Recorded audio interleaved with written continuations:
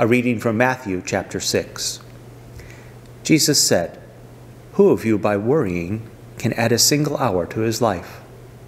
Therefore, do not worry about tomorrow, for tomorrow will worry about itself. Each day has enough trouble of its own. This is the word of the Lord. Have you ever let worry ruin a perfectly good day? I suppose we all have at different times. Worry creates problems rather than solves them, though. And Jesus teaches us that no one has ever added years to his life by worrying. No one ever will. But we forget. And in our sinfulness, we can find all kinds of things to worry about sickness, money, relationships, politics, our country. Remember that God loves you and cares about you. Remember what the Bible says in Romans 8.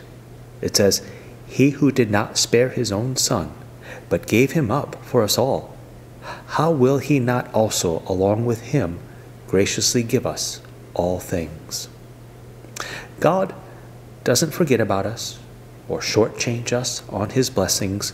He takes complete care of us and our lives.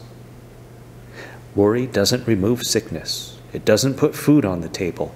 It doesn't pay bills or solve problems. But God knows how to do all those things. He graciously invites us to come to Him in prayer and give Him all our cares, worries, anxieties, and troubles, and He will respond in the way that is best for you and your eternal salvation. Our lives can get pretty hectic and complex, and we may feel we're at the end of our rope at times how wonderful to be able to pour out our hearts to God with complete trust in Him to hear and do what is best for us. Let us pray. What a friend we have in you, Jesus, all our sins and griefs to bear. What a privilege to carry everything to you in prayer. Amen.